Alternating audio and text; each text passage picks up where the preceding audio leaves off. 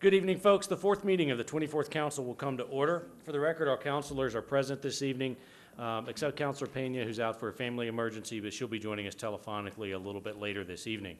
Uh, First of all, we'll begin like we do every meeting with our Pledge of Allegiance in Spanish and English. Uh, And tonight, we'll ask Councilor Benton to get us started with those. Join us for a moment of silence first, please.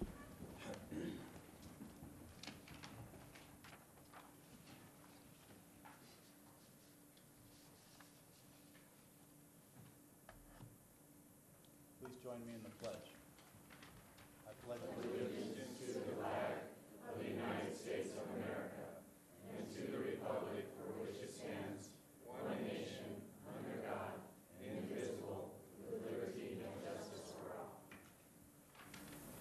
Listen, you do our pledge in Spanish Oh, as well. oh, yeah, yeah, we got the Spanish. We have to do that together. All right. All right, in Spanish, everybody.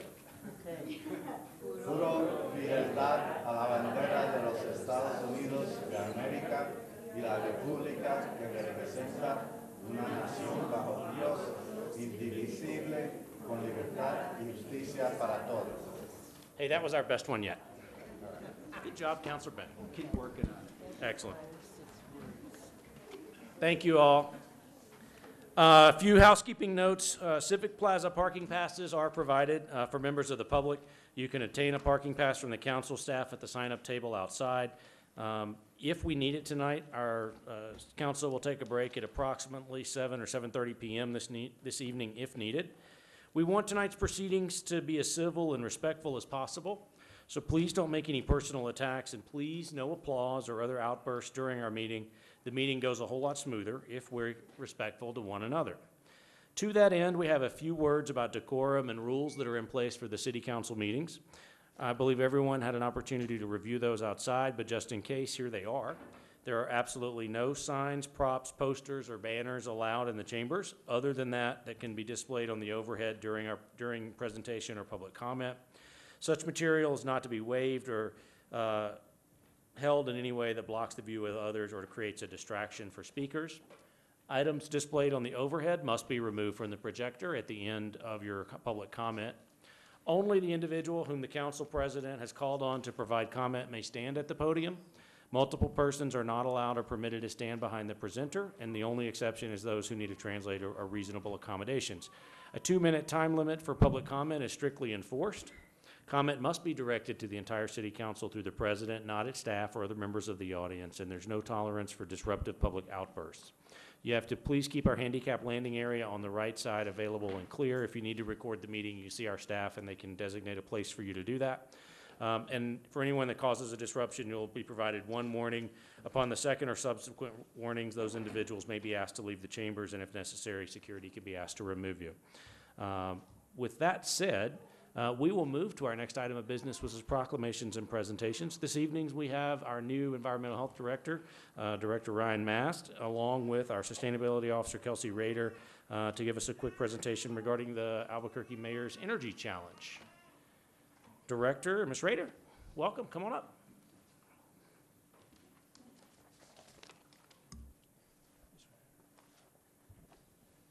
Well, good evening, uh, President Davis and esteemed councilors. It's a real honor to be here tonight.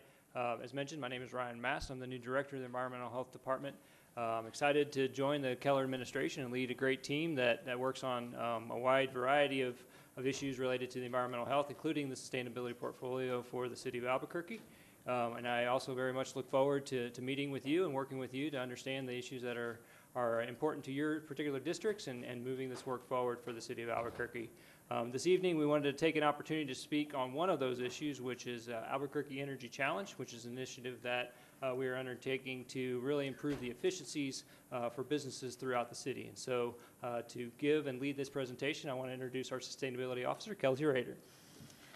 Good evening, uh, President Davis and councilors. Thank you so much for having us this evening. I've had the pleasure of meeting several of you. Oh, can you hear me a little more? Just a little bit up there? Is that better? All right. Thank you so much for having us this evening. Uh, As you may know, the Sustainability Office is still pretty young. We're just about a year and some change at this point.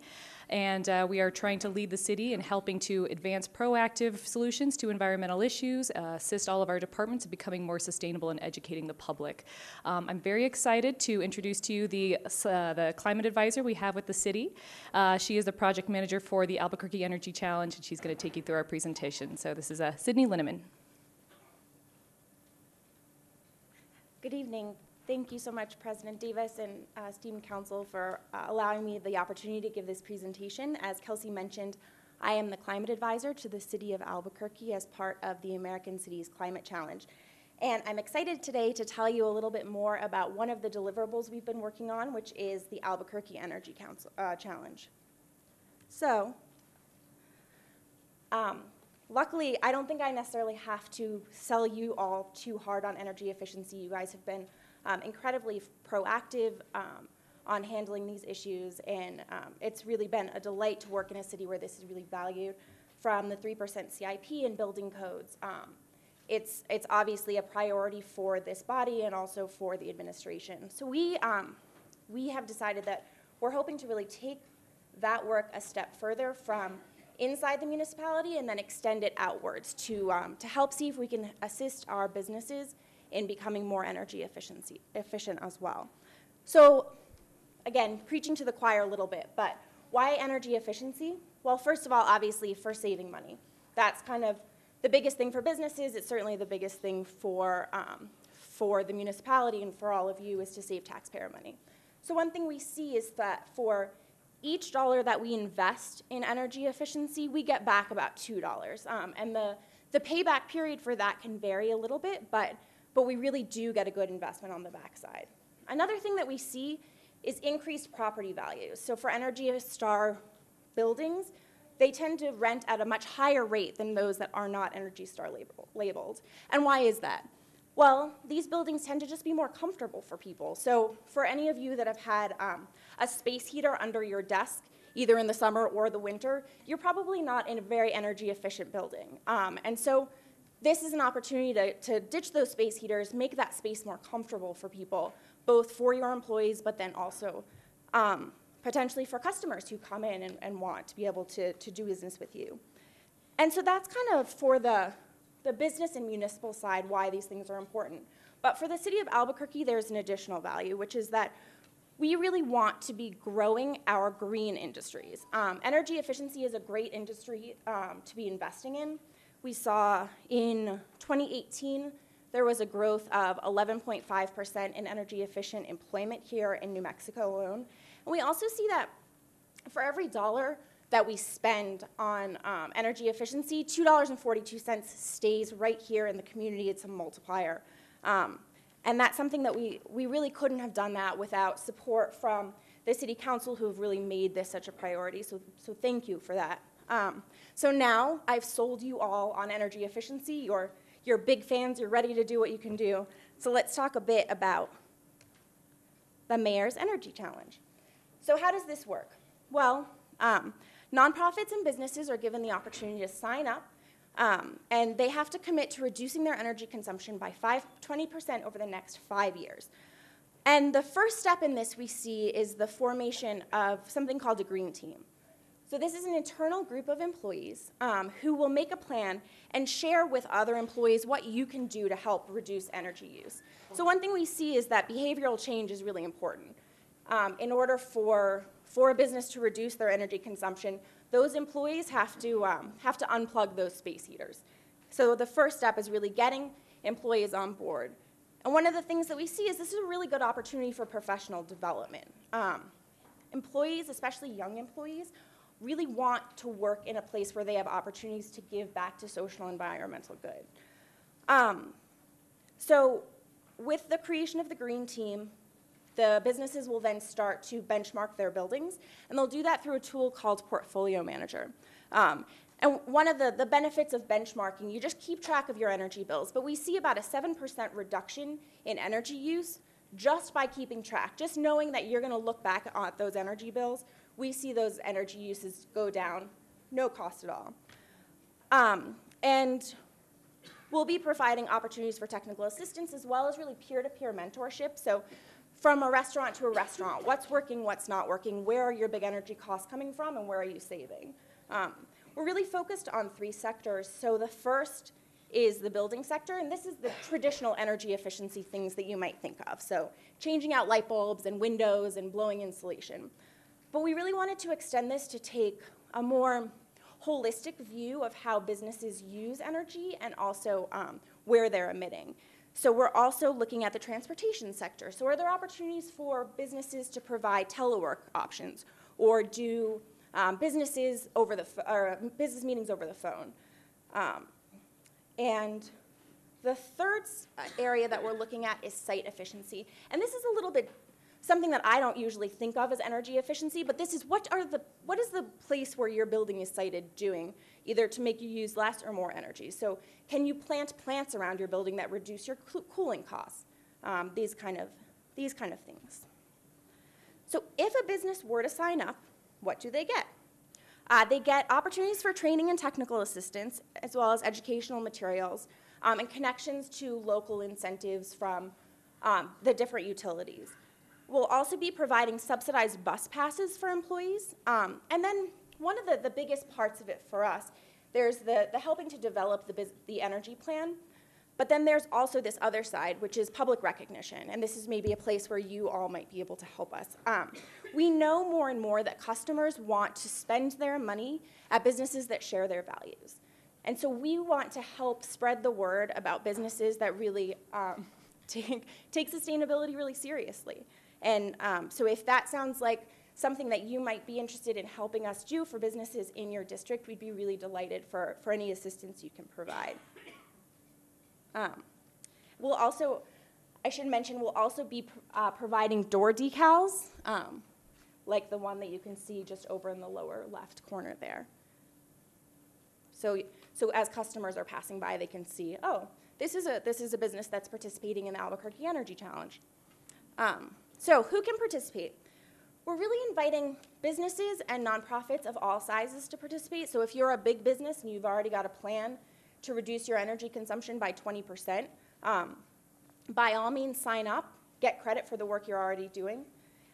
We really have been focused more on small businesses. So if you've ever worked on a small business at a small business, you probably know that you don't have a lot of free time to be looking up on the internet to see what kind of rebate you can get if you switch out your fridge. Um, but we want to be able to provide that extra time. Um, so we'll be doing a special additional technical assistance for small businesses, including an on-site assessment um, for those businesses. And then, as I mentioned, we'll also be inviting nonprofits and faith-based organizations to participate. So, with that, my other big ask is will you help us spread the word? If you have businesses in your district that you think would be really good beneficiaries of some of this, that would benefit from the PR or the technical assistance, let us know. Shoot that information our way. Um, as your staff go out into the community, if they come across someone who you, they think would benefit, please feel free to let us know. We'll be having our second cohort first wor- kickoff workshop on April 16th, so we're, we're deep in, um, in recruitment now, but really wanting to see businesses from all districts participate, businesses from all sectors. Um, so with that, I'm happy to take questions. Thank you so much for your time um, and support for these issues. I really appreciate it. Thank you so much. Counselors, questions? Counselor Gibson. Thank you, Mr. President. Thank you for that, that presentation. Thought that was uh, really good. So the- what was the first ask? I got the second ask. So the was your first ask is if you'd be willing to help us publicize some of the businesses in your district that are interested in participating. Okay. Um, So I you thought can. that was the um, second ask. And then the second ask is if you have ideas for other businesses that haven't signed up yet, Oh. send them our way. I gotcha, and I'll do that. Thank you. Thank you very much. Counselors, other questions? Uh, Really quickly, I wanted to ask, so if a business calls and signs up and wants to participate in this, who's going to go out and do that audit? Do- Is it our city staff? Do we have folks on contract to do that? How a little bit does that work for folks? That's a great question. So we were lucky enough to receive funding through the Energy Foundation Right. to um, get some contractors who will be able to go, and they are facilitating these workshops, and they also have a subcontractor who will actually be the person going out to the businesses and doing those on-site assessments. Great. Thank you all very much. Director, it's Thank good to see you. Welcome aboard. This is a great project to get started, so thanks. Thank you for your time. Thanks, Kelsey. It's good work. Thank you very much. Thank you. Uh, Councilors, we're going to go back to one item. Uh, Counselor Borrego, I believe you have one proclamation for us tonight? Or maybe two?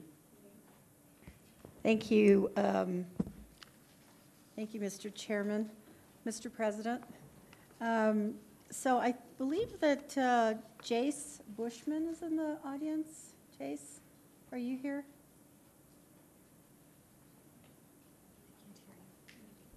Jace Bushman, are you in the audience? Okay, I thought he was going to be here. Um, So this is just uh, a proclamation that applauds uh, Scout Jace Bushman, and um, it is for his service as a Boy Scout and recognizes his example of community service, and we will be presenting this at his um, Cub Scout or Boy Scout uh, meeting. And then the second one is International Women's Day. Is there anyone from International Women's Day here? If not, this is recognizing, We do have somebody, oh, we Counselor. do? Would you Yeah. like to come forward, please?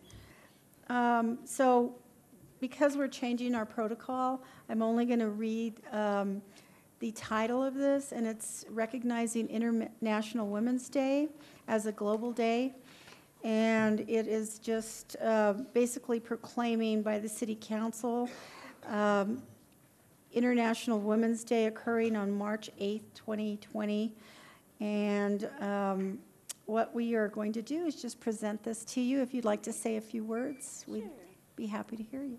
Thank you so much, uh, Councilor Borrego, and thank you all for your support of International Women's Day. Um, we have a special um, gathering planned for that day at the IBEW 16, and we'd appreciate anybody who wants to come out and support us. We're talking about um, migration and uh, climate change as it impacts women and our communities. And I'm sorry, would you identify Oh, yourself? sorry, yeah.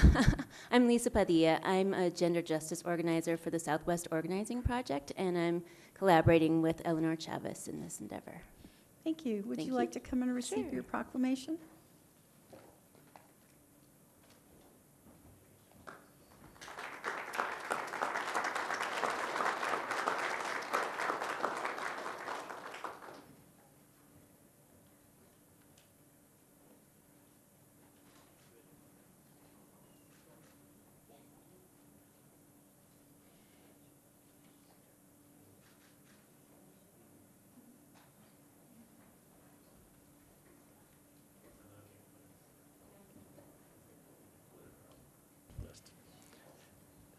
Thank you, Counselor Borrego. Thank you for that.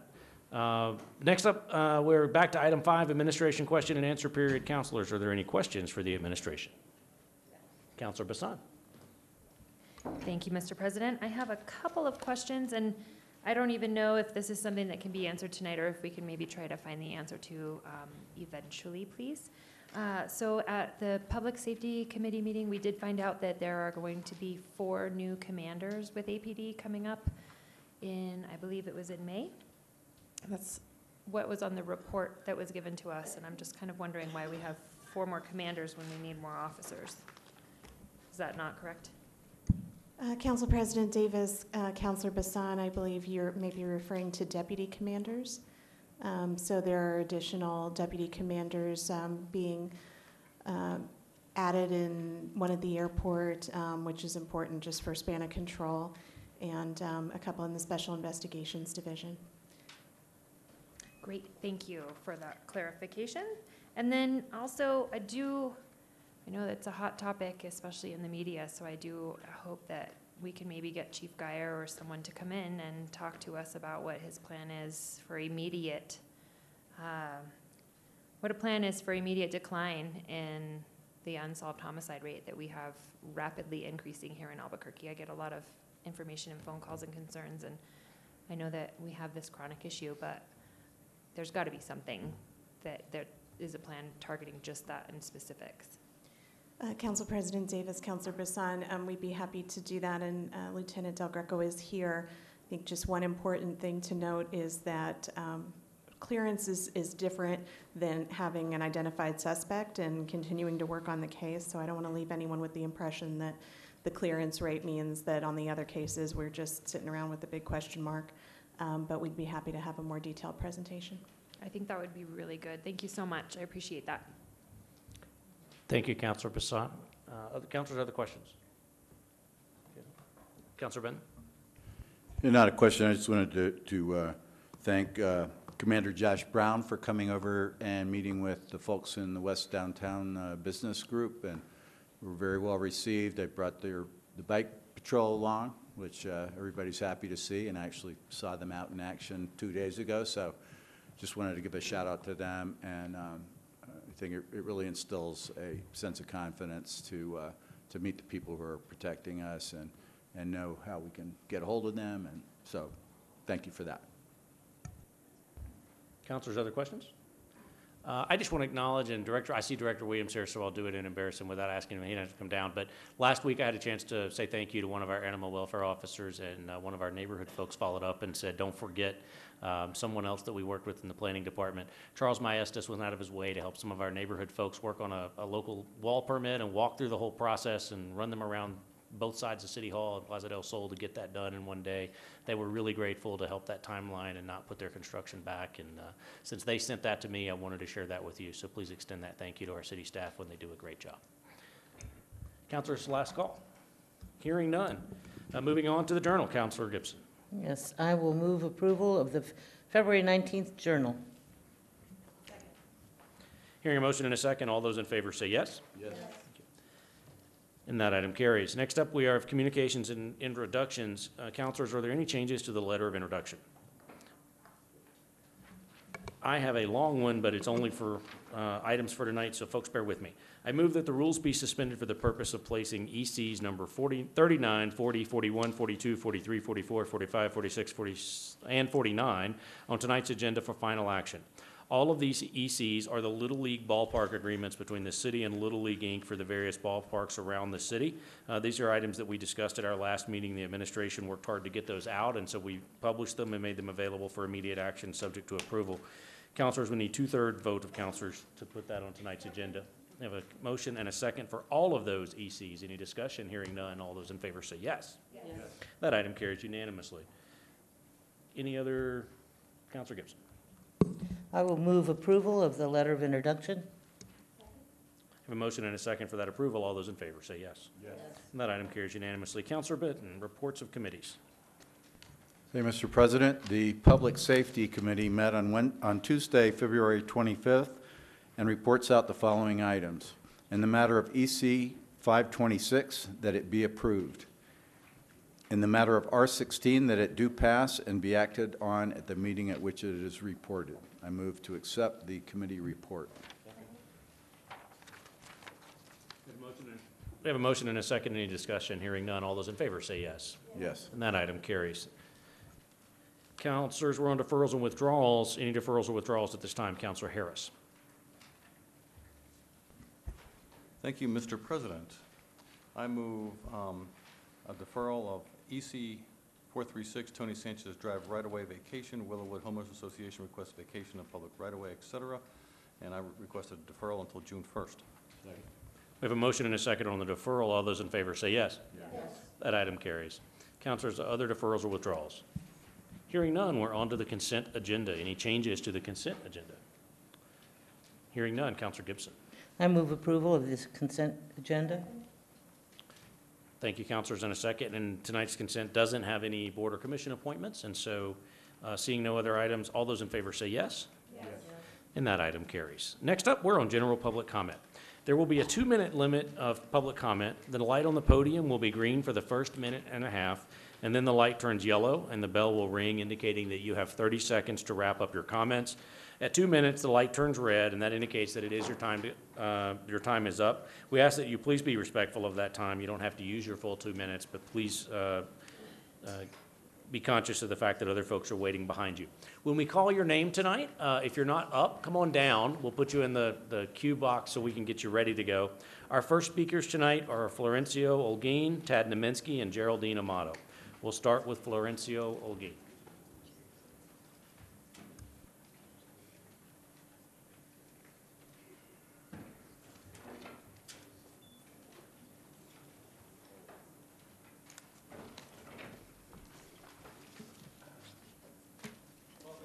Uh, Thank you. Uh, Thank you, Mr. President and City Council. My name is Florencio Olguin. I'm uh, representing the Police uh, Athletic League here in Albuquerque. Mr. Olguin, I'm sorry, would you speak into the mic just a little bit so everybody can hear you? Thank you. Yes. Okay, uh, again, I, uh, my name is Florencio Olguin. I represent the New Mexico Sheriff's and Police Athletic League. Um, I'm here uh, asking uh, for your help um, to, uh, we currently under um, uh, uh, partnership with the city of Albuquerque to run our city youth programs. Uh, the- And since 2014, they have given us a building to uh, operate in.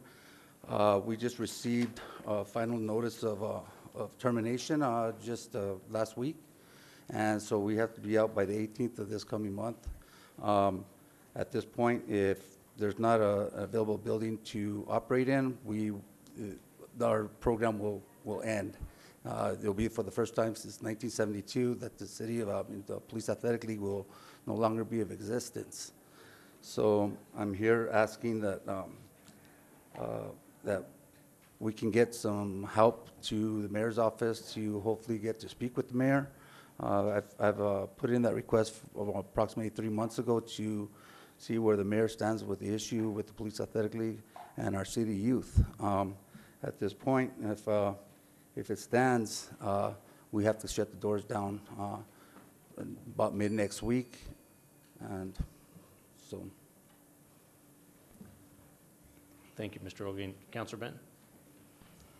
Thank you for coming down, Mr. Olguin, and uh, sorry you're being, this, having to go through this. We did meet with uh, counselors, uh, Counselor Pena and I met with uh, maybe another councilor, I can't remember, but Councilor Yes. Pena and I at least met with Mr. Olguin and his group from PAL. And, you know, the athletic league, as he just said, has been in place for, for nigh on a half century in Albuquerque now and has done some great work with the youth. Um, And I just wanted, you know, we, we had asked, is there any way that this could be extended? I know that, that the, uh, the building is, is in the way of a road project, but I wondered uh, if the administration had any, eh, you know, is there any way we could help with the search for another place? Do we have any interim locations, et cetera, um, for, for their facility?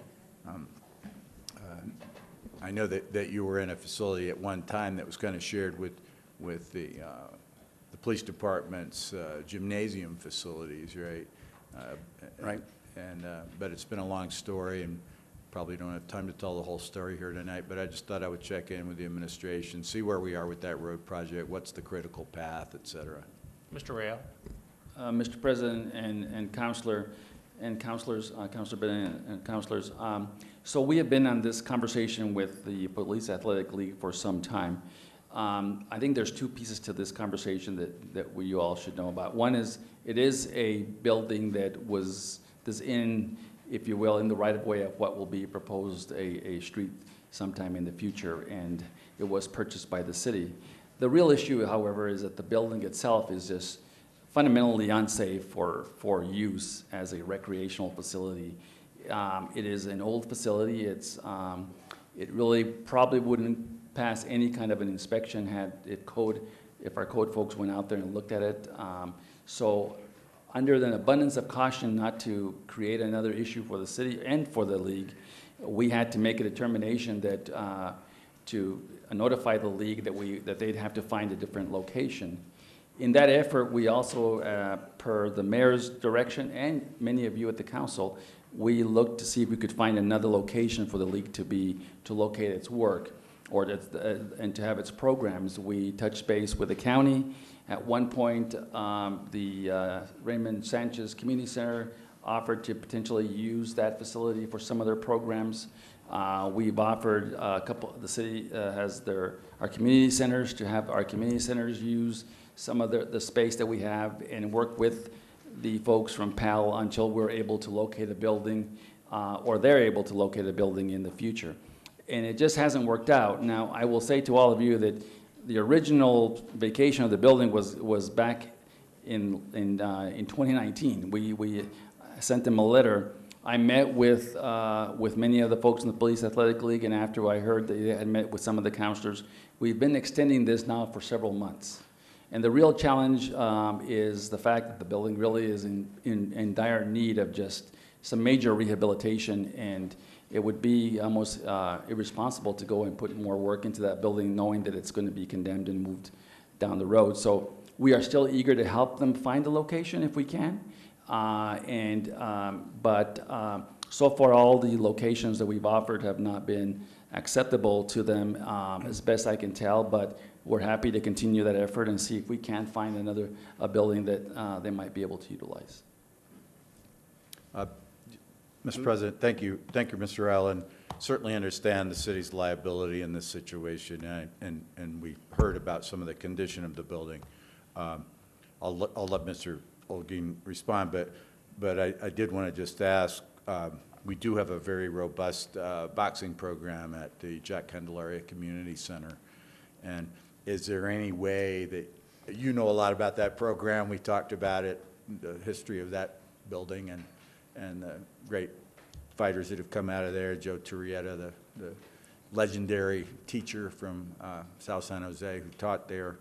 Um, But is that, is there any, do you see any daylight there at all, Mr. Olguin? Um, well, let me just go ahead and back and say that, you know, the only, the only building that they had, or place that they had given to us was Raymond G. Sanchez Community Center.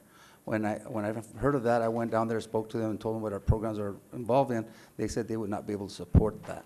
So that was the only one that we, would- that we had received. Um, Now, as far as, I mean, unfortunately, it's just not the boxing uh, that we, that we have. We have boxing, wrestling, jura- karate, judo, and we do some mentorship programs. And so, I mean, I could take a boxing program to, re- uh, to, to the facility, it's just that everything else would have to be left behind. Right. Um, we, currently, we probably have about fifty kids with our wrestling program who comes and utilizes our program every, every evening.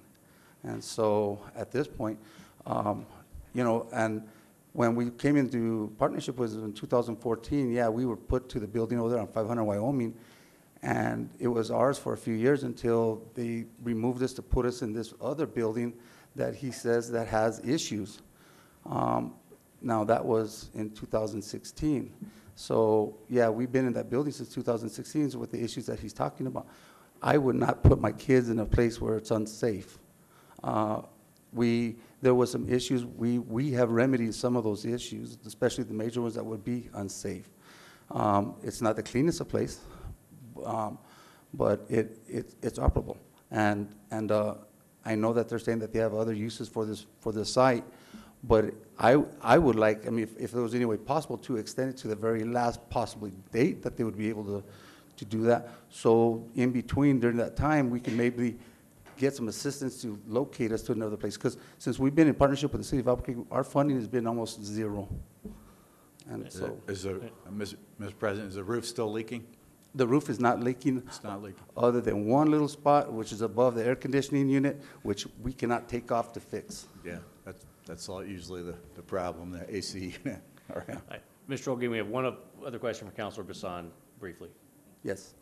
Thank you, Mr. President. It's, I want to clarify the, I think I know, but I want to know specifically what this road project is that you mentioned regarding this building and the road project. So the, uh, the road project that's still in the design and very preliminary is, is the Channel Road uh, project that goes uh, north of Osuna uh, and is, at least the design would it be to connect to El Pueblo uh, by Paseo del Norte. And it would be a road to connect that whole Jefferson corridor. Now, that's not a road that's funded at this point, but it was part of the right-of-way acquisition that funds that were available back when the project was first uh, put on the, on the shelf, if you will, by the city. Thank you. Thank you, Mr. Rael. And Mr. Olguin, thank you for coming. Um, I have had this building come up in some meetings before, so if you wouldn't mind, um, maybe talking with Don Marie before you leave so that I can get your contact info and be in touch with you soon. I appreciate that very much. Thank Thank you. Thank you, counselors. Next up, Tad Naminsky. And followed by uh, Geraldine Amato. Is she still here? I don't see her.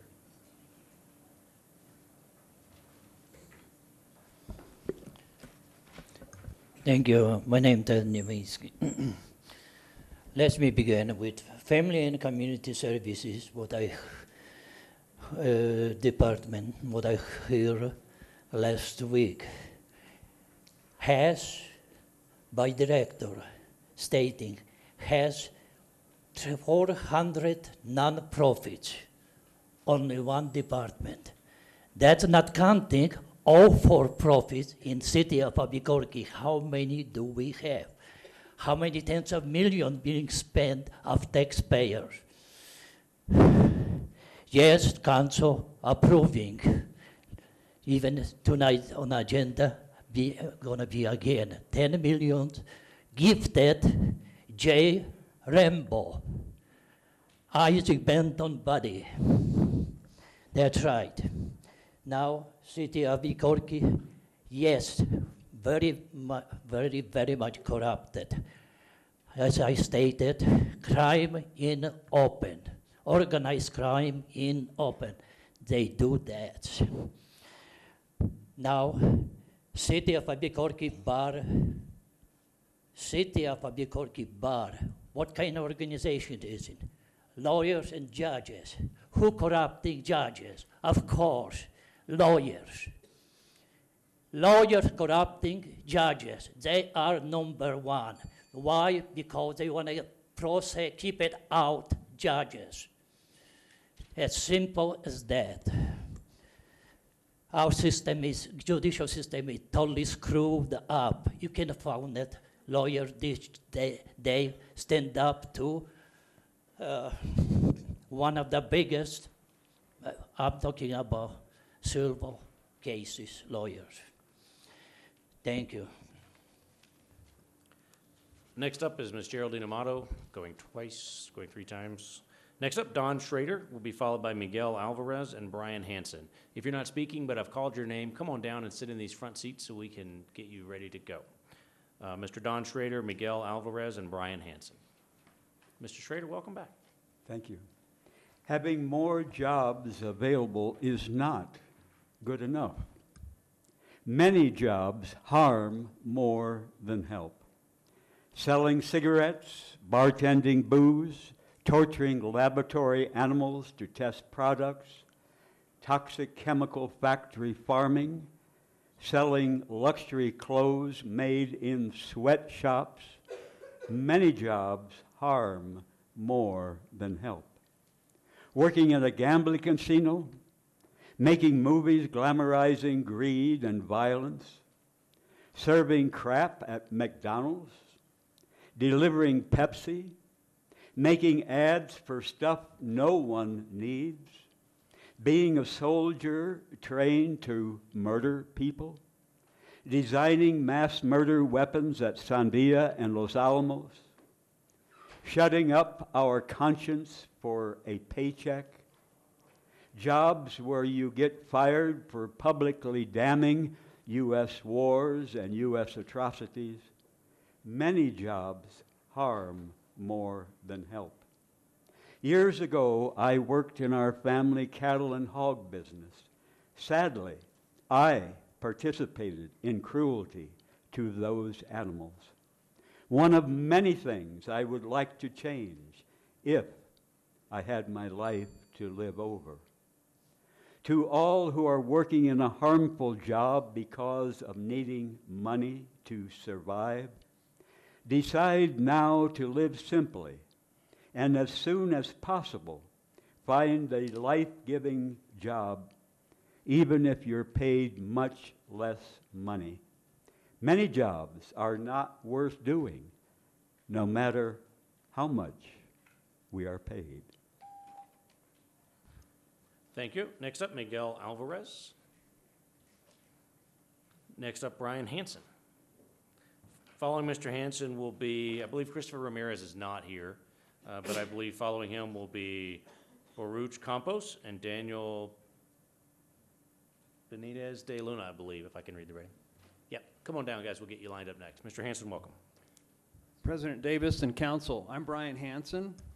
The City of Albuquerque is in the process of reviewing and approving the Resource Management Plan for Candelaria Nature Preserve that will be managed by Open Space Division in the Parks and Recreation Department. I am asking the City Council to review and approve the plan as soon as possible so that open space can begin developing excellent habitat for wildlife. I am chairman of the technical advisory group that was tasked with writing a plan for Candelaria Nature Preserve.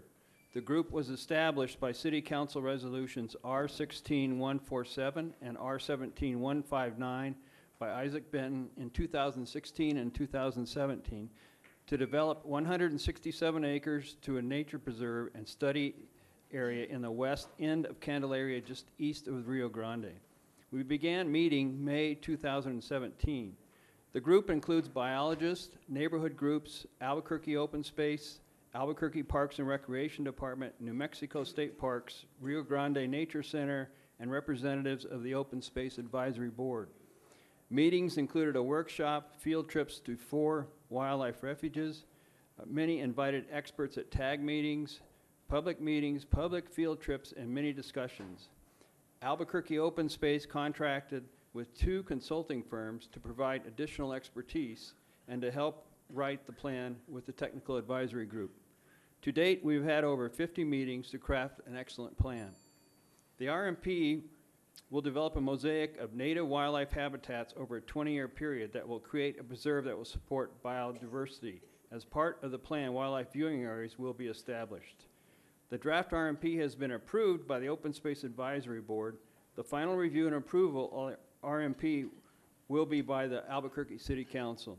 You can access the plan by simply Googling Candel- Candelaria Nature Preserve. The Technical Advisory Group stands ready to assist the city in the approval Thank- process. Thank you, Mr. Thank Hanson. Counselor Ben? Mr. Hanson, I just want to thank you and the other members who have served on the TAG so diligently, done some great work. Thank you. Thank you.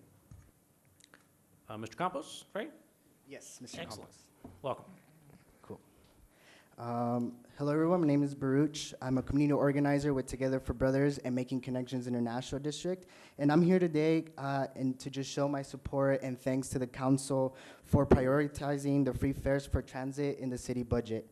Um, uh, growing up, uh, being part of a low-income family with a single mother, I was highly reliant on the um, public transportation. And so growing up, I really understand um, the power that comes with having access to transportation in this city.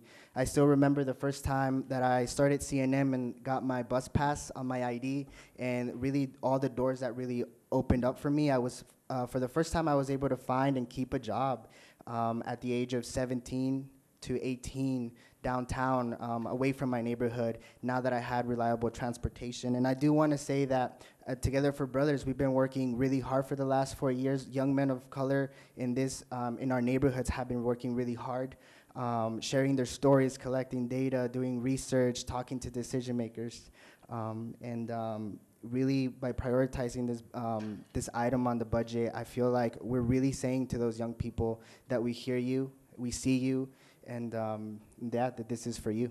So thank you so much. Baruch, thank you very much. I appreciate you coming down, and we don't allow that, but we'll, let- we know you're in support, and we appreciate that.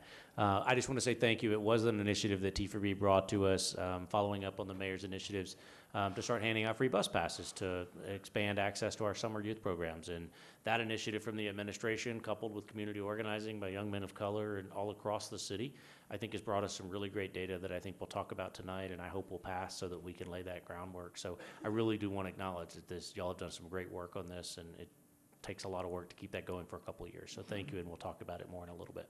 Thank you. Thanks. Next up, uh, Daniel, and is it Mahdi Hassani? My clapping guy, you got to come down here now. Thank you. Daniel, welcome. Uh, hello, everyone. Hello, council. My name is uh, Daniel Benitez de Luna. I am a student at Atrisco Heritage Academy High School. Um, I also work with Together for Brothers, and again, I just wanted to um, say thank you for supporting the budget uh, that would pass free bus fares for um, APS students and eventually in the future for the city of Albuquerque. Um, again, I just wanted to reiterate the importance of the free bus pass. Together for Brothers recently did a survey uh, called the Health Impact Assessment, where we asked um, questions to young men of color about the importance um, of the of the bus in their lives. And of 268 responses, nearly 75% of them said that they'd be more likely to uh, not skip class. Um, and nearly 75% of them said that they'd be more likely to graduate. Uh, so again, I just wanted to thank you guys and um, reiterate the importance of the of bus dependence in Albuquerque. So thank you. Thank you, sir. Mahdi Hassani. Hello, everybody. Uh, my name is Mahdi, and I'm also with Together for Brothers. And I go to Highland High School senior year, so I'm gonna graduate. That's cool. Yeah. So I wanted to thank you for processing free fares for transit in the city budget, and uh, I want to share a little bit about my ex- experience and how public transit is important to be free for us. I've been taking the city bus all around. I've been going to school jam meetings and everything that's out there.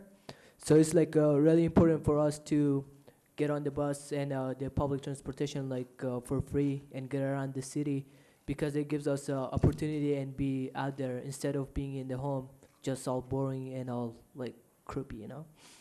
And again, I want to thank for the support and uh, for everything that you guys are doing for us. Thank you. Thanks. Next up, Josh Price, Jackie Smith, and Israel Chavez. Josh Price. Josh, welcome back. Yes, sir. And I think we've solved your issue by the You time you have get to solved my talk issue. about it. Thank you, Mr. President. Thank you, council members. Um, I'm not going to take much of your time. I really just wanted to um, come up here on behalf of Little League and my own Little League, Lobo Little League, and thank uh, the Parks and Rec Department. Um, They worked really hard on getting these leases um, taken care of for us. The city attorney's office, thank you so much. And of course, the, the council members themselves. Um, Really, you know, if it weren't for, for the backing of, of of our city, we, I mean, really, uh, any Little League, Lobo Little League in general, wouldn't have anything. Um, I really look forward to the mayor's new play ball initiative. I have no idea what that means. I just saw it today. Um, I doubt that anybody in here knows what that means, but I think I, we're really excited for it. And like I said, I just want to thank you guys, uh, thank the council, and, and thank you, Mr. President, and thank Parks, and thank the attorney's office. Thank you. We can't wait to let, hear about it either. Okay, Mr. Rael says we're going to play. Uh, Ms. Smith, do you want to speak tonight?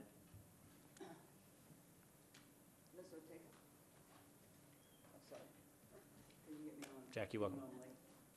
President Davis, council members, my name is Jacqueline Smith. I'm the president, or excuse me, I'm the chairperson of the Paratransit Advisory Board, also known as Sunvan. I'm here in support of the proposed legislation for uh, free fare transit. Um, This also includes, of course, the fixed route service, which uh, Mr. Chavez will be um, talking about a little bit more. Um, I serve the Paratransit Advisory Board, again, that is Sunvan, who serve um, the elderly, the physically disabled, and the cognitively disabled.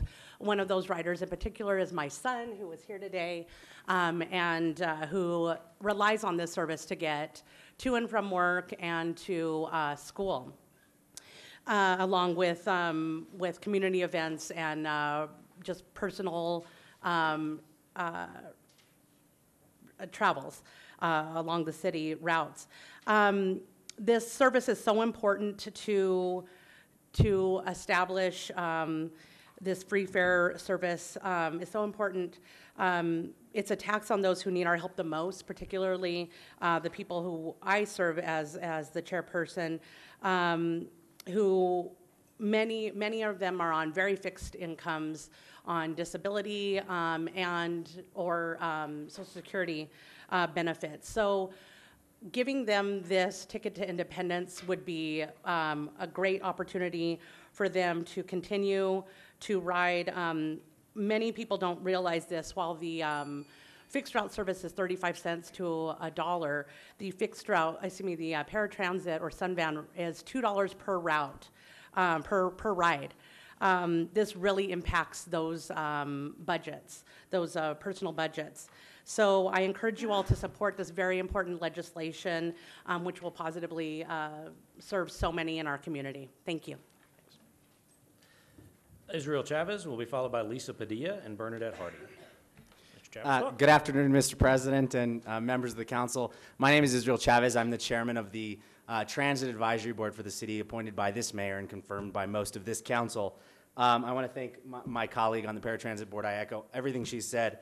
Um, I just want to underscore that uh, our, our board passed uh, this resolution last year to support free fares for young young folks in our city because it's what we need. It's good for our community. We spend lots of money on a lot of different things, and this is a relatively small piece of it.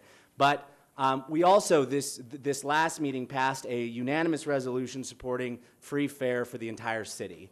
And the reason that's important is because buses are about movement, right? We move people, but if, when you think about the history of this country, it's Rosa Parks sitting in front of a bus. It's the Freedom Riders riding those buses across the country, and it's bracero workers riding them to work or to on strike. And these buses are not just for a lot of people, not just a bus, it's livelihood. And, and so many of our communities are dependent on these buses. That dollar that a lot of us here may think is a small amount adds up for so many in our community. Um, and when we see uh, cities, around 100 cities across the country have already uh, supported fare-free transit, uh, they've immediately seen a jump in ridership. Um, buses are a, a, a service that this city provides, like street sweepers and firefighters. It is not a good that we pay for. And so I would encourage you to, one, come to our meetings. We're the second Thursday of the month, um, which we moved to 4 o'clock, 4 to 5.30, and which has produced many more uh, attendees, but to, to support making transit more accessible in this city. Um, the first month that uh, when ART was, was free, what we saw was a 10% month over month increase in ridership. And it's the, I've been on the board for two years, I've been chairman for one, and I've never seen a positive increase, right? We're always talking about how to incre- increase ridership. It's about making it accessible. And we don't charge people to walk on sidewalks, we don't charge people to go to the park. So thank you so much, and I stand for questions if you have any. Thank you, sir. And I do encourage members to go join the Transit Advisory Board on their meetings. I've went a couple of times with some of these young folks, and it's pretty amazing to see how they're working through those issues. I'm sorry, Counselor Borrego. Um, I just want to say to Israel, I'm really excited to see your energy, and it's really exciting to see that, um, you know, just the words into action, and that's what I'm really looking forward to. I remember one time when I stayed in Bellevue in um, Seattle, and I had to get downtown to a conference, and I had to take the bus and the train, which connected very efficiently, I will say. And I would love to see that in our city at some point in time. Mr. President, may I respond? Very briefly. Briefly. Uh, and and if, if we unshackle transit from, from fare revenues, we can focus on things that you're talking about, and that's what we want to do. Thanks. Thank you, Mr. Travis. And thank you, Counselor. Uh, Next up, we have Ms. Lisa Padilla, followed by Ms. Bernadette Hardy and Marianne Goodluck. If we call your name, come on down. Ms. Padilla, welcome back. Thanks for being here. Thanks. Yeah, I'm Lisa Padilla again. Um, I'm here to speak for women in our community and how um, this could impact um, so many families in Albuquerque. Um, there's a, a hidden gender gap in our transportation system that inordinately affects um, single mothers. Uh, 75% of single parent households in Albuquerque are headed by women. And so many of them earn minimum wage and can't afford to buy cars, insure cars. And so, you know, it makes it impossible for them to secure work. And so I'd like to ask you to please pass this measure and um, please um, consider women's safety while we do that because I think if women could safely um, transport themselves to the, both their work and childcare facilities, that would serve our city so well. Thank you very much. Thank you, Ms. Padilla.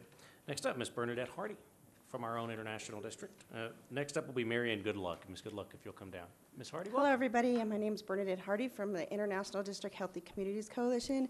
But also, one of my other jobs is working at Highland High School. Um, that's my site for in Enlace, New Mexico, which we, we are a site where we mentor uh, students from 12 to 5 every day. And I'm here to speak for the transit equity. So, um, coming into Highland, and I noticed that a lot of our students um, were having tr- trouble with transfer transportation. Um, we mentor a lot of the athletes. Um, a lot of the E Academies stay till five with us. um, just to get their homework done because they don't have internet at home. So we got some free bus passes from T for B, and it really helped us uh, get our kids into the school and get them home on time. You know, they stayed with us till five, but it really helped us to with our with our program, but but also helped our kids. Um, a lot of our kids are refugees, and they don't have a car to get back and forth. So, just here to advocate for our kids at Highland. And sorry, just emotional. Our kids are amazing. Some of them are being drafted for sports right now. We helped them with FAFSA, helped them getting into college, and we just loved to see them use that bus pass because we gave them all away. We're done. We need more passes. We need to see our kids be independent. Thank you. Thank you, Bertie. Thank you, Ms. Hardy. Thank you for your work on behalf of those folks in the community. Ms. Goodluck. Good evening, everybody. My name is Marion Goodluck. I am from the Diné Navajo Nation, which means holy people who walk the earth. Uh, in elementary school, I was told that Navajo means thieves. So I am also of the Zuni Pueblo tribe on my mother's side and the Jemez Pueblo tribe on my father's side and I'm representing the American Indian Women's Center new domestic violence shelter project. This isn't my first visit here. Um, I'd like to tell you that I really respect you for your work you do here for the people, and that's what we're trying to do. Our volunteer group has been meeting for five years trying to get this organization on the up and up and straightforward and stick to itiveness regarding our homeless shelter. We need at least 20 of them in Albuquerque. We have one and a half. We have the Safe House and we have the Catholic Charities. And I want and hope that you can continue to support, support our project. Um, I, I want to mention that I do have a very good friend. Her name is um, Eskeets, Belinda Eskeets and she is paraplegic because it, uh, her husband got jealous and pushed her off a bridge. Now she has 24-hour care, and that's a very expensive way to live. She never was able to have children or go to school or work. So this is uh, the cost of domestic violence, and that only took like three seconds to happen. So um, I'd like to return perhaps next Monday to continue my uh, research uh, and background of the costs and benefits. Thank you very much and have a good evening. Thank you, Ms. Goodluck.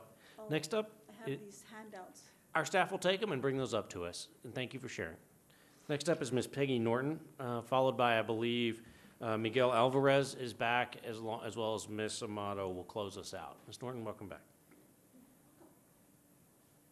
Congratulations on your promotion. Is this the right one? Okay. Uh, President Davis, Commissioners, I'm Peggy Norton, President of the North Valley Coalition and a Technical Advisory Group member on the Candelaria Nature Preserve.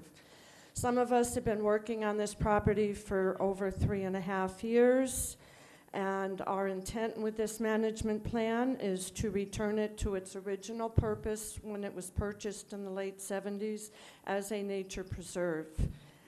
Um, there are dramatic increases, decreases in birds, insects, numbers and species, amphibians, due to pesticide use, herbicide use, habitat loss, and climate change.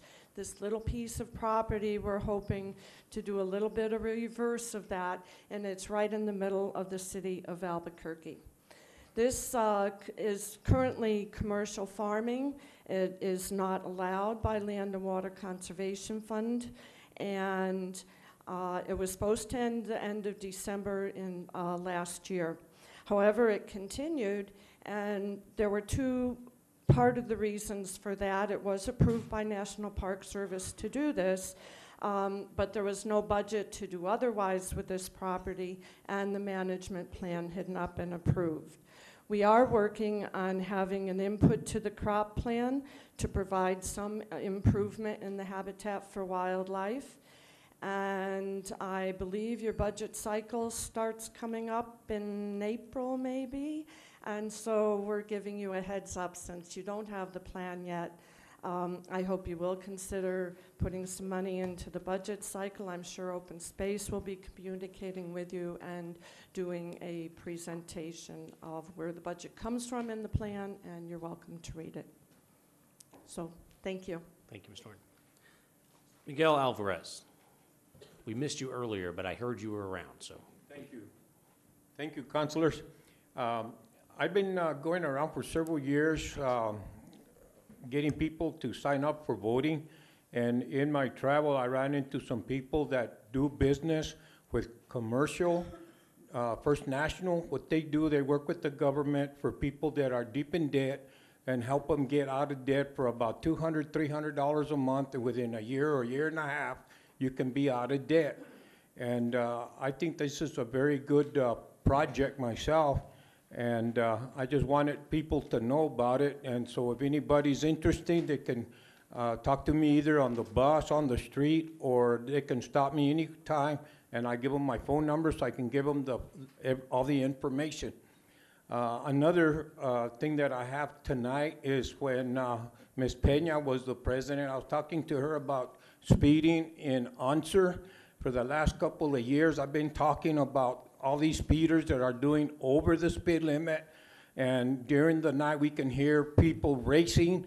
And in the morning, we find different colored cars that have been going through our neighbor's wall. Uh, You can go up and down Unser, and you can still see some of the walls that haven't been fixed yet because they can't afford uh, to fix it, and then within a couple of days later, another car goes through their wall. Uh, I've talked to some of the neighbors, and they said that they're still waiting for their insurance to uh, send them a check so they can start uh, fixing those walls. But every time I'm either going to Walgreens or I go visit a friend, uh, these people are going way above 40 miles an hour. Uh, and at night, you can hear those uh, cars really speeding a lot. A couple of years ago, I got finally got a police officer to check on the traffic, and when I stopped to talk to him, he said he got 120 tickets in one hour. Thank you, Mr. Alvarez. So I wish you could help me with that. Thank you, Mr. Alvarez. And I see Thank some. APD officers in the back that can help you work on that. Uh, Ms. Amato, last but not least.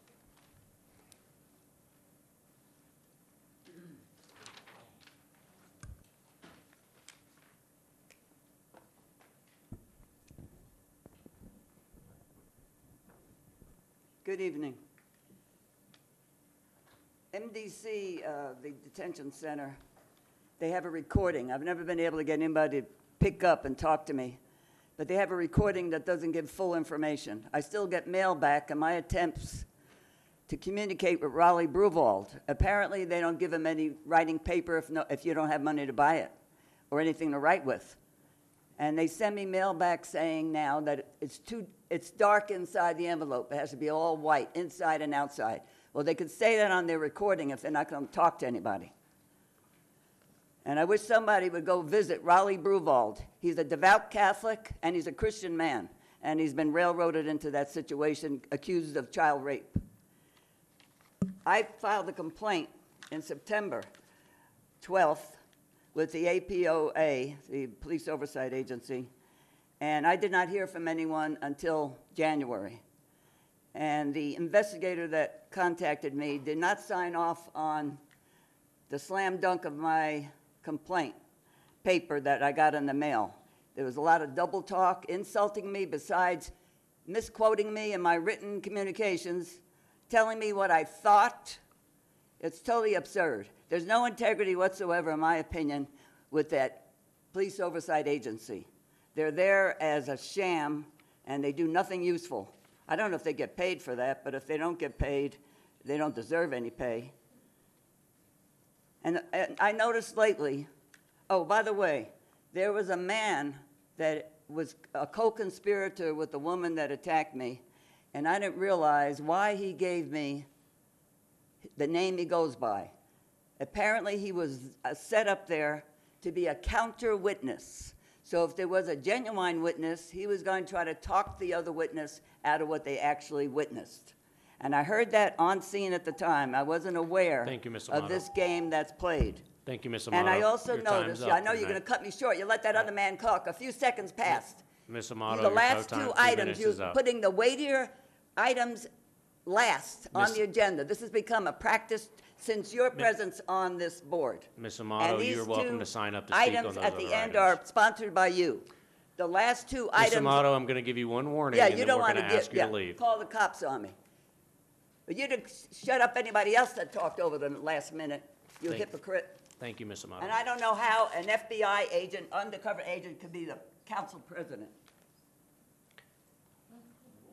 Counselors, we're done with public comment for the evening.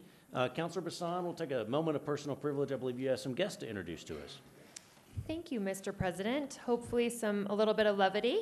Uh, I just, so our, we have some Boy Scouts here tonight, and I know that you weren't able to get here in time to do the pledge, so I hope that someday you'll be able to come back. But just real quick, we wanted to say and let everyone know that Troop 410 is here, and their troop leader is Mr. Doug Horn.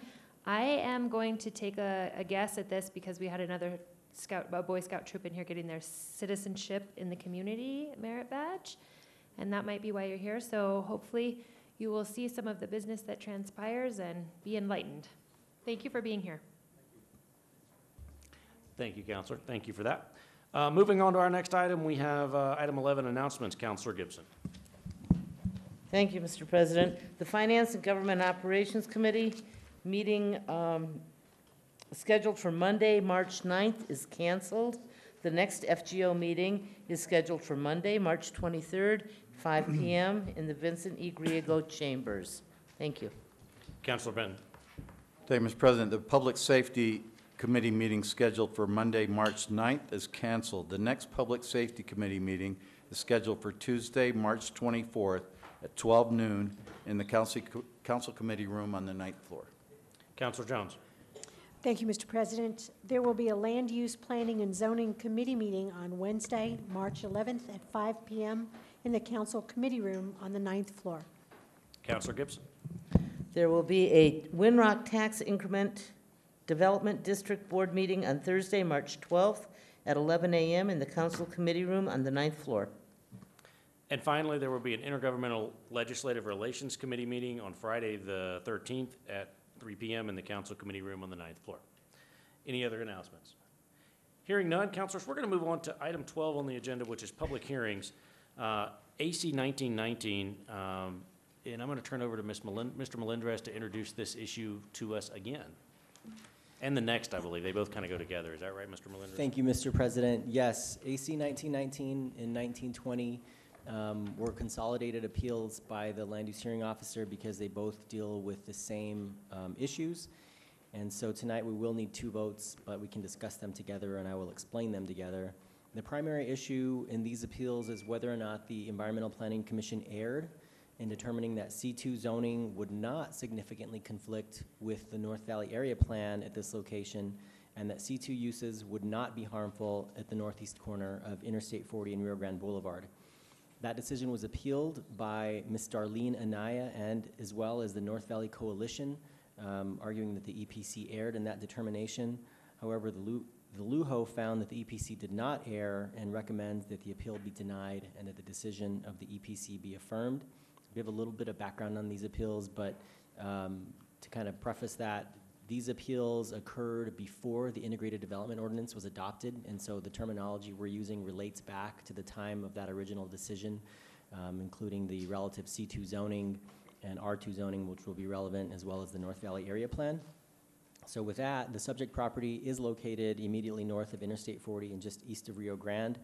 In 2017, the EPC approved a zone map amendment at this location to change zoning on the site from a combination of M1 and R1 to a combination of C2 and R2. The city council affirmed that decision um, in 2017, but it was appealed to the Second Judicial District Court, New Mexico. Um, The court largely affirmed that decision, but remanded it for the council to give additional consideration and analysis on two requirements of R 270-1980. The first is whether or not the C2 zone is in significant conflict with the North Valley Area Plan, and whether or not some of the permissive uses in C2 would be harmful to the community.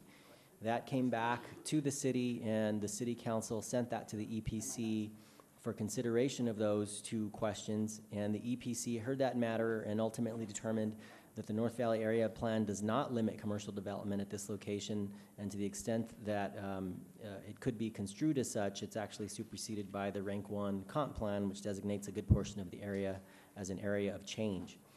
Um, In addition, the EPC determined that the C2 uses would not be harmful because they're generally consistent with the existing zoning to the east and west, which is R3 and C2 respectively, and are actually less intensive than uses already permissive under the M1 zoning at the site.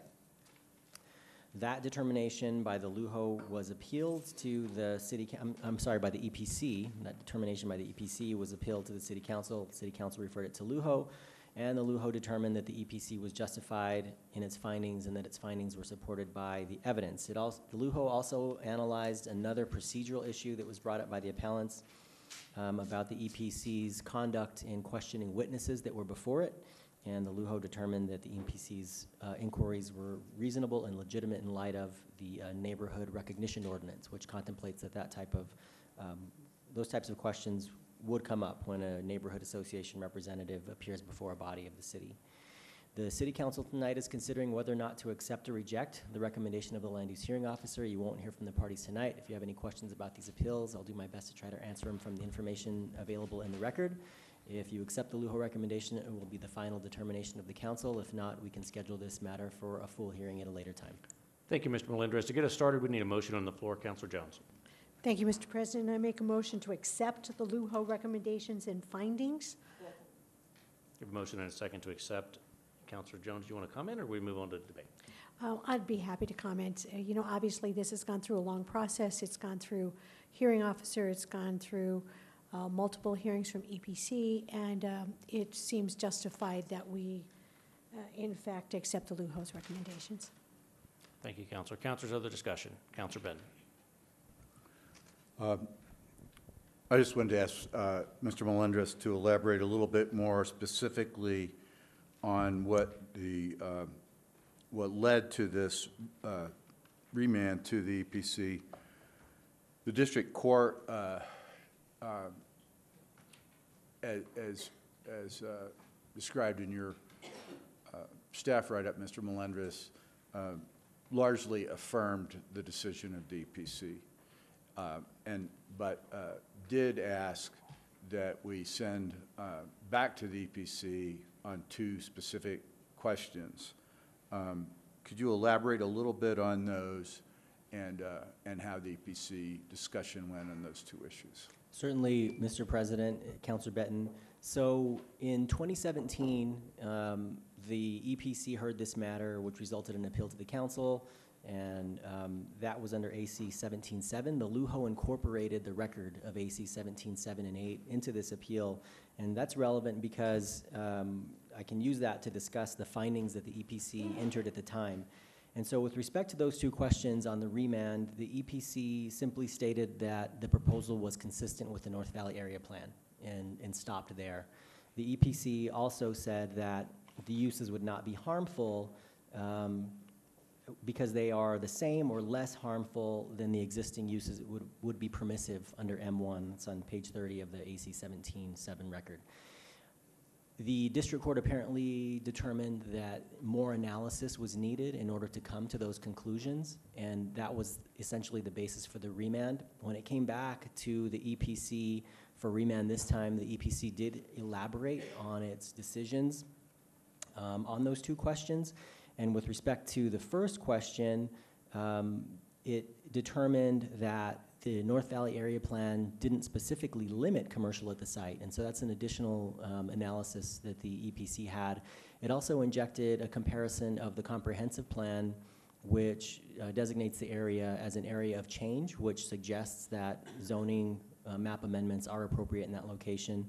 In evaluating, evaluating that finding of the EPC, the LUHO also dissected it a little bit further and identified some considerations that were implicit in that determination, including um, the provisions of the North Valley Area Plan that identify this location as a village center um, and, and some analysis about what that means, and it, it's simply contextual um, based on the, the LUHO's analysis and doesn't specifically limit any zone category. So that analysis was fleshed out more in that regard. And with respect to the second question, um, instead of simply saying that C2 was less harmful than M1, um, the EPC evaluated a side-by-side comparison chart of the various uses that would be permissive in M1, which would include uses, commercial uses of intensity all the way up to C3 in comparison to the C2 uses. And there's also some discussion about um, the site being buttressed by I-40, R3 to the uh, east and C2 to the west, which is relatively consistent. Another, I think, relevant finding of the EPC is that um, the proposal would, would uh, impose an R2 buffer between the C2 and the R2, which also speaks to the relative harm of the potential C2 uses. So those are the way that those issues were elaborated on. So under the existing, uh, or the previous zoning, or the existing zoning, I guess, at the time that it- the case was originally heard, uh, there was no buffer. It was basically uh, manufacturing zoning right up against uh, R1 zoning. Mr. President, Councilor Benton, that's correct. And under the, the proposed plan, um, it- there is no manufacturing zoning. It- It's uh, essentially a community commercial as opposed to neighborhood commercial equivalent under the old zoning code. And uh, with a, with a buffer of R2, uh, uh, from that to the predominantly R1 zoning to the north, correct? Mr. President, Councilor Benton, that is correct. And the, uh, as I understand it, the zoning to the east is R3 uh, com- uh, residential, Mr. President, that's correct. and and across the street, or basically to the west along the Rio Grande corridor, it's R2. Mr. President, um, there is an exhibit on page 224A of the record, and it, it visually demonstrates all of the statements you're making. I'd, I'd use that page to make one clarification um, to, the, to your last statement, and that is that that zoning uh, to the west is presently zoned LDMUD 2, which is um, uh, sort of an interesting designation uh, by, by its title, but it roughly equivalates to C, uh, is equivalent to C2 zoning. Okay, so it was a, uh, yeah, it was a Duranes sector plan special equivalent to C2. Correct. Okay. Um, And there was, there was uh, discussion by the LUHO, Mr. President, as well, about the, um, the role of the North Valley Area Plan and the fact that it has language uh, that, that says discourage as opposed to prohibit. Mr. President, Councilor Benton, the land use hearing officer did um, uh, go into a good amount of detail on that particular issue about, um, it's sort of something we get into once in a while about whether or not it's a requirement or whether or not it's more aspirational, and that's sort of the language that the, that the LUHO used. Um, And there is, uh, as the LUHO analyzed, the goals that are relevant to this site um, are not hard requirements. They're, they're not, they're, they're more aspirational under the plan. Now, that means something under the plan, um, but the LUHO evaluated it in terms of whether a- a hard requirement versus a more general goal. And, uh, and this area in the North Valley Area Plan was designated as central urban. Mr. President, that's correct, and uh, Councilor Benton, that's correct, and, and the LUHO did go into detail about that as well in order to evaluate the context of the North Valley Area Plan and identified that that central urban designation, um, you know, sort of tempers the, um, any notion that the village center uh, designation is limited to a very, maybe more of a C1 type of zone, um, because it is the most intensive general land use category that is identified within the um, North Valley Area Plan. Thank you, Mr. President. Uh, Just, just quick, one more. uh, uh, In that central urban, the language in the North Valley Area Plan uh, stated that that, that was, that uh, infill development was encouraged in in that zone, in that area of the plan. Mr. President, Councilor Benton, um, infill encouraged there and also in the Rank One Comprehensive Plan. Thank you, Mr. President. Coun- I think Counselor Bassan and Counselor Borrego have a brief statement, but Counselor Bassan. Thank you, Mr. President. Um, I just wanted to make sure to say that although I was not here for the initial vote on this appeal in 2017, I would like to state for the record that I have familiarized myself with the full appeal record in AC 1919 and 20 as it relates to the questions before us on the appeal, and I'm prepared to participate in this vote. Thank you, Counselor. Anything else? Counselor Borrego. Thank you, uh, Mr. President. I had a qu- question for Chris, and I'm just curious. um, So if this goes through tonight, um, would then eventually, because of the IDO, we do not have the Northwest Area Plan in effect after this, and also the Duranes Plan are both gone, right? So am I correct in Yeah, thinking Mr. that? President, Counselor, uh, Counselor Borrego, yes, those plans were subsumed into the, the comp plan as part of the IDO update process. So there would be, have to be a conversion process if this were to be ado- uh, approved tonight? Mr. President, uh, Counselor Borrego, yes, conversion into the IDO. Okay, and I want to read into the record a statement, although I was not here for the initial vote on this appeal in 2017, I would like to state for the record that I have familiarized myself with the record in AC 1919 and 20 as it relates to the questions before us on appeal, and I'm prepared to vote. I also worked on the, I need to state, I also worked on the North uh, Valley Area Plan and the Los Duranes Plan. Thank you, Counselor. Counselors, other questions? The motion on the floor is to uh, accept the land use hearing officer's recommendations and findings, and we have a second from Counselor Gibson. Seeing no other debate on that item, all those in favor say yes and raise your hand. Yes. All those opposed? So that carries one, two, three, four, five. How many do we have? Seven. Nothing. And that item carries. Next up, we have uh, item AC 1920. Mr. Melendez, that is the, the other side of this same issue, is that right? Mr. President, that's correct. And so Counselor Jones for a motion. Thank you, Mr. President. I make a motion to accept the LUHO recommendations and findings. um, And we have a second from Counselor Yes. Harris. Any other discussion on that item? All those in favor say yes and raise your hand. Yes. And that item carries unanimously as well. Thank you, Counselor Harris. I know Coun- you have another item tonight. Thank you. Uh, Next up, we have final actions. Counselor Benton, we're back to you on O2. Thank you, Mr. President. O2 is relating to the redevelopment, leasing, and sale of a metropolitan metropolitan redevelopment project and the issuance of MR revenue bonds, approving 1716 Central Avenue LLC Metropolitan Redevelopment Bond Application, authorizing the acquisition of land and existing improvements, cons- construction of a building within the historic Central Metropolitan Redevelopment Area. I move it do pass. A motion in several seconds. And I'll move uh, the substitution for O2, which is being distributed at this time. And I'll second the floor sub. Thanks.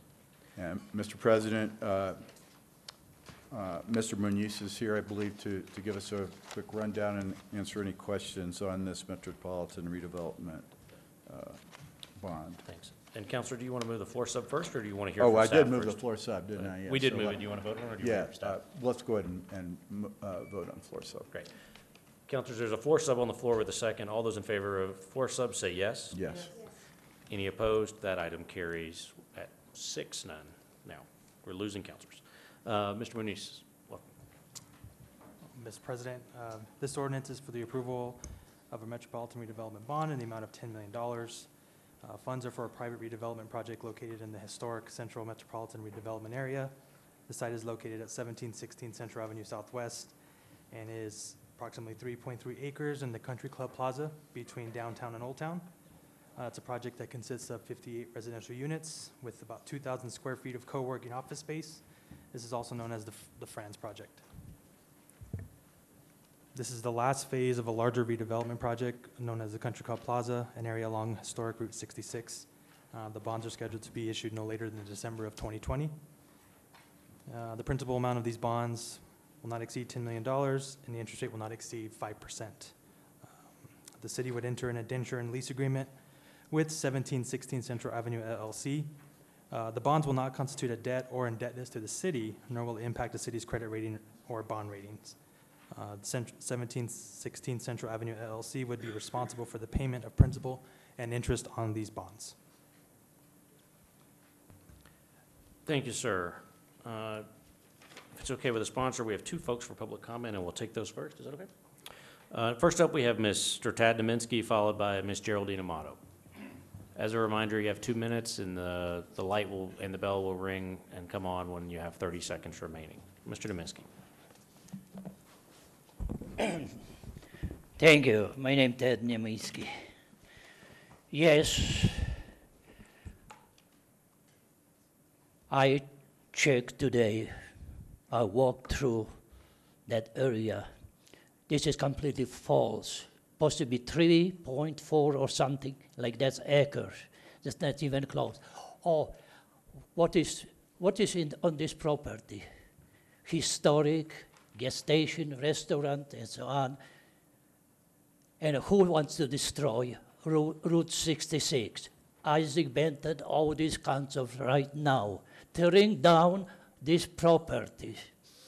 Was a hypocrites now gifting developer who also own servo residential across the street on the roadside. Well, some of it also right next to him being sided, boarded as new citizen abandonment, and so on, farther down. Yes, he's gonna own that, everything, and redevelop, redevelop. Who got chance? No, nobody got chance. Well, there is a way how to get around when you have city council and city councils on the his side.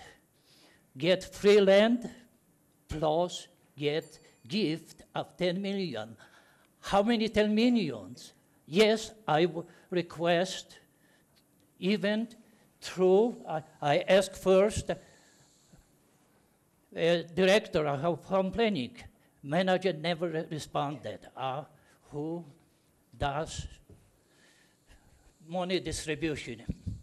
Yes, even I requested by the city council office.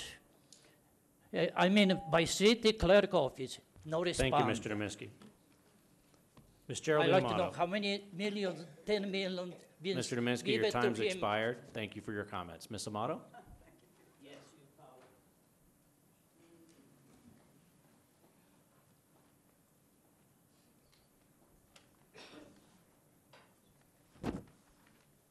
I still believe the last two agenda items should have been on first and second. These here are items for the public to comprehend is almost impossible. And I don't think anybody else in this room comprehends them either. But I think it's poignantly appropriate to uh, talk about acquisition of land. Control is what it amounts to. And these are, these decisions and these bond issues have nothing to do with the will of the people in this area. This has to do with uh, the ranking mem- members of the federal, uh, or I would just say the internationalized monetary and banking networks that control our resources at this time and hour in this nation. The people are losing more and more control on their property, including the fruits of their own labor. And unless, there, unless there's a move to resist these high ranking, unseen, uh, how do you say, overlords, they're worse than absentee landlords, absentee overlords that are doing us in by incrementally. And by obscure type of final action agenda items like this, you read that thing, you can hardly understand what they're talking about. It's a lot of double talking here. But it's high finance and redevelopment. We start off with development, then we have redevelopment, and we're issuing these bonds. And as I mentioned before, someone who studied finances rec- uh, stated that bonds are a way of confiscating wealth. And more of us are losing the, our wealth. Budget priorities and rules of procedure of the city council would be more appropriate at the beginning of the meeting, not at the, at the end of them. It discourages public input by putting them last on the agenda. Thank you, Ms. Amato. Any questions? Councilor Benton, uh, any further, or are we going to go to con- councilors? Councilor Borrego. Um, I would like to know, um, and I, I don't see it in the bill, and I'm just wondering if you all took into account our, um, our bill that took ten percent off the, out of the redevelopment fund to put back into the, out of the bond to put back into the redevelopment fund, and I don't see it, see it in here. So I think that we might have overlooked that. Ms. Yara? Mr. President, Councilor Borrego, so we're, we're checking on that right now. I- And we have a sense that this might have been in the hopper before you passed that bill uh, relating to the admin fee going back to the MR group. Um, So they're checking on that right now. If you could just, if, if anybody has any other questions, we can move to that. Thanks, and if we need to, we can table these two items for a minute and go to our other action items and return. Uh, Councilor Gibson. Thank you, Mr. President. So we passed another MR bond um, resolution. Um, Was it last meeting or the meeting before? Recently, it was since we, we um, uh, passed the uh, 10% um, one. So, and I did ask the question when we passed the, when we uh, talked about and ultimately passed the last MR bond resolution, uh, and we thought that that had included that. So is that, was, can you check on that as well? Ms. Verify it? Yes, so Mr. President, we did get confirmation. This was in the hopper before uh, the council passed the bill relating to the admin fee, and we can definitely check back on that. I think, um, I forget the name of the other MR project that you approved last meeting. Um, I, I don't know if Councilor Borrego wants to move a deferral until we get that question answered, or we can handle that after the fact. It's Councilor Benton's bill, so Uh, I would have to defer to him. I'm going to, yeah, take Councilor Benton real quick to respond. Uh, Maybe hear from, from uh, Yes, Mr. Mr. President, uh, Mr. Varela is here to maybe answer some, que- some of those questions for us. Council President, Councilors, uh, Alan Varela, Deputy City Attorney assigned to the Metropolitan Redevelopment Agency. The approach to the imposition of the 10% MR bond fee was to have that apply to new applications. These applications were already well in process at the time. Thank, thank you, Mr. Varela. Uh, Mr. Aguilar, do you want to comment, or is that sufficient? Oh, Great, thanks. Councilors, other questions, or Councilor Borrego? Thank you. I'm satisfied as long as the timing is correct on them. Great. So- Ms. Yarrow? Yeah, Mr. President, I just wanted to confirm, so the bill that you passed relating to that fee went into effect on February 10th. Um, This bill was introduced uh, February 3rd, so. Great. Good question, thank you. Councilors, other questions on these items? Seeing none, Councilor Benton to close. Urge your support. Councilors on the floor, we have O2 as substituted. All those in favor say yes. Yes. Any opposed? That item carries unanimously. Next up, uh, Councilor Gibson for R214.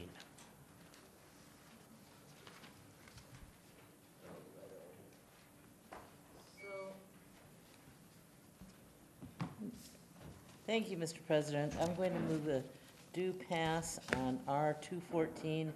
This is a nuisance substandard dwelling or structure in need of abatement at fifty-four oh four Alvarado Place Northeast, eight seven one one oh. Moving a due pass. I have a motion and a second on that item. We have one person signed up to speak this evening, Geraldine Amato. Ms. Amato?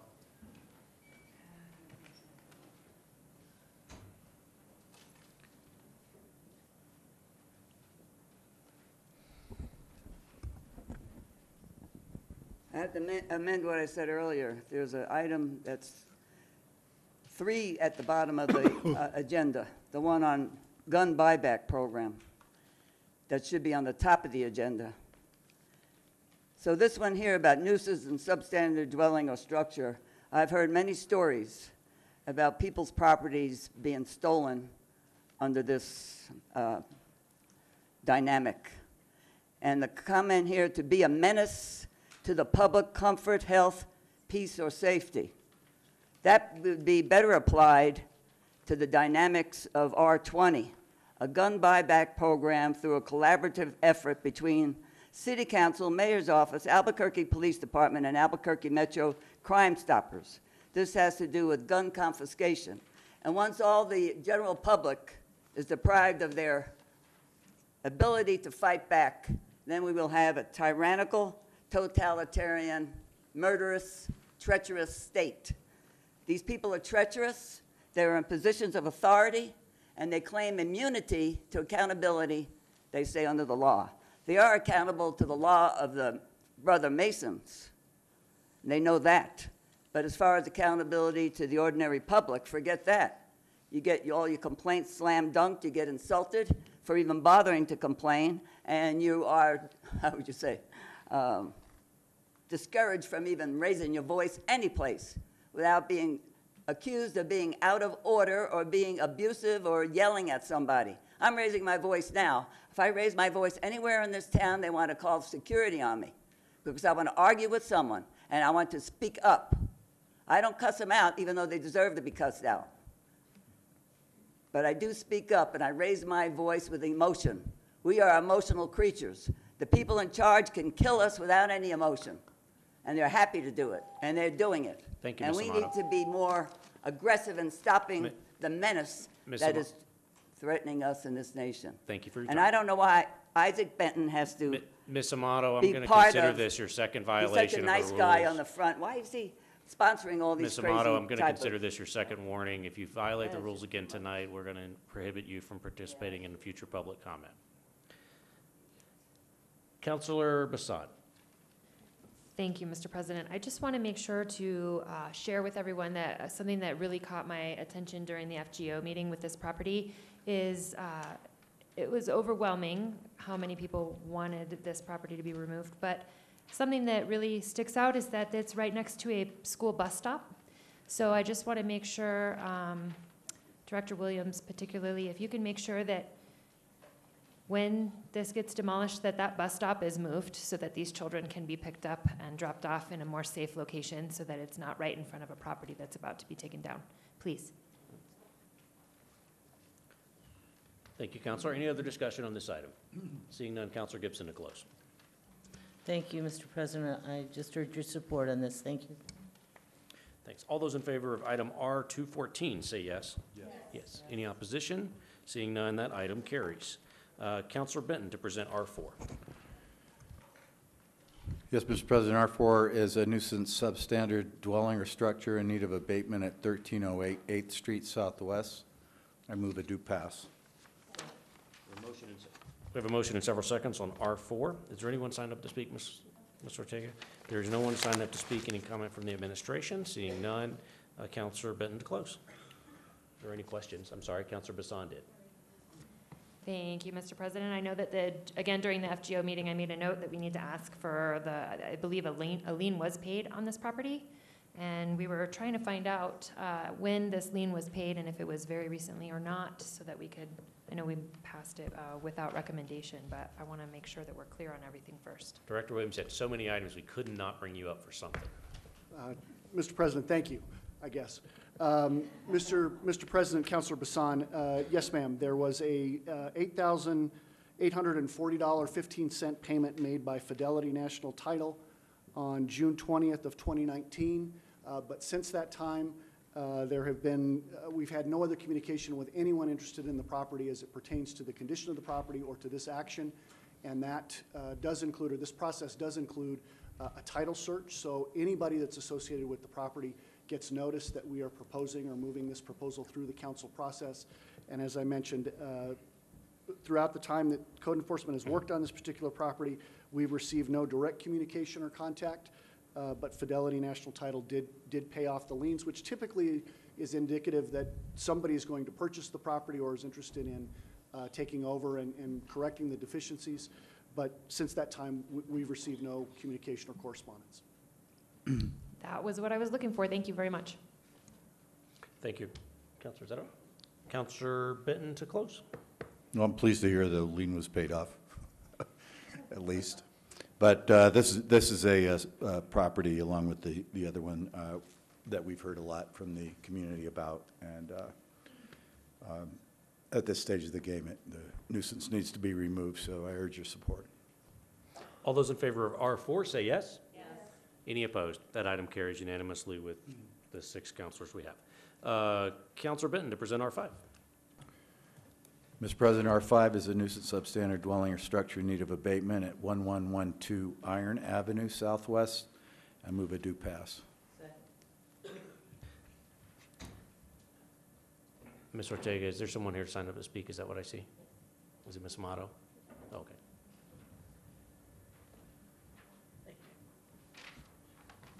Uh, Signed up to speak on this item is Cardinal Reiger? Rieger. Rieger, thank you. Thank you.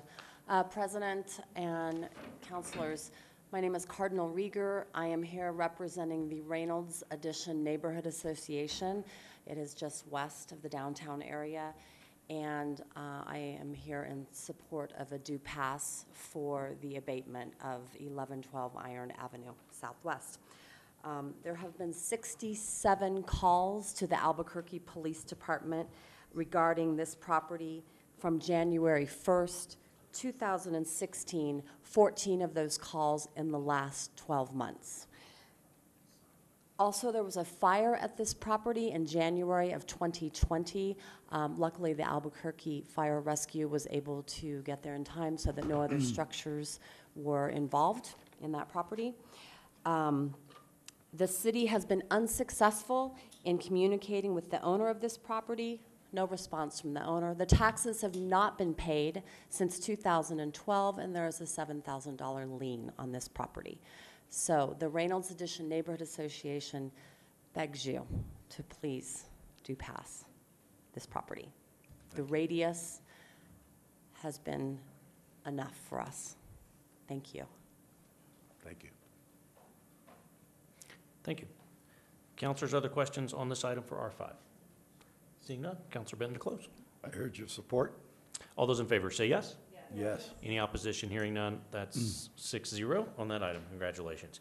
Councilors, we're going to take about a five-minute break here. I ask us to try to keep this to about five minutes because we're down to our final items, but Councilor Pena is going to join us by phone, and we need to give our staff a few minutes to get that set up. So we're going, we're going to take just a five-minute break, let folks grab a restroom break, um, and then we'll all be back. So we'll ask you to try to keep your five-minute break to no more than like 10 minutes.